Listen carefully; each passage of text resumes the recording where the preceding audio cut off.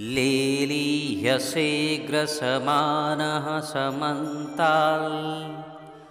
लोकान् समग्रान्वदनैज्वलर्भिः। तेजोभिरापूर्य जगत्समग्रम्।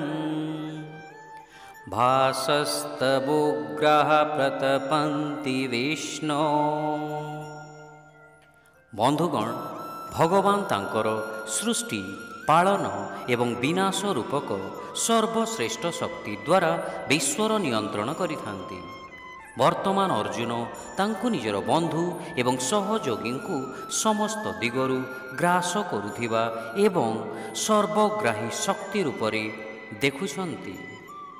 ଭଗବାନଙ୍କର ବିଶ୍ୱରୂପ ମଧ୍ୟରେ ଭବିଷ୍ୟତରେ ଘଟିବାକୁ ଥିବା ଘଟଣାବଳୀର ଛାୟା ରୂପ ଅବଲୋକନ କରି ଅର୍ଜୁନ ଦେଖିବାକୁ ପାଉଛନ୍ତି ଯେ ଆସନ୍ନ ଯୁଦ୍ଧରେ ତାଙ୍କର ଶତ୍ରୁମାନେ ବିଲୁପ୍ତ ହୋଇଯାଉଛନ୍ତି।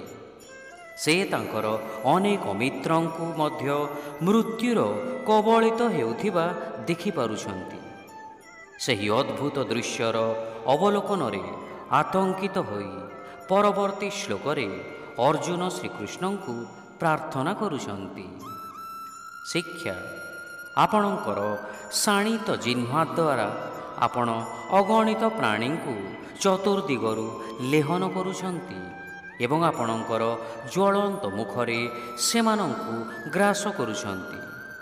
ହେ ବିଷ୍ଣୁ ଆପଣଙ୍କର ଦୀପ୍ତିର ତୀକ୍ଷ୍ଣ ଏବଂ ସର୍ବବ୍ୟାପୀ ରଶ୍ମିରେ ଆପଣ ସମ୍ପୂର୍ଣ୍ଣ ବ୍ରହ୍ମାଣ୍ଡକୁ উদ্ভাসিত করুছন্তি with your fiery tongues you are licking of the host of living beings on all sides and devouring them with your blazing mouths O Vishnu you are scorching the entire universe with the fierce, all pervading rays of your effulgence. Hare Krishna.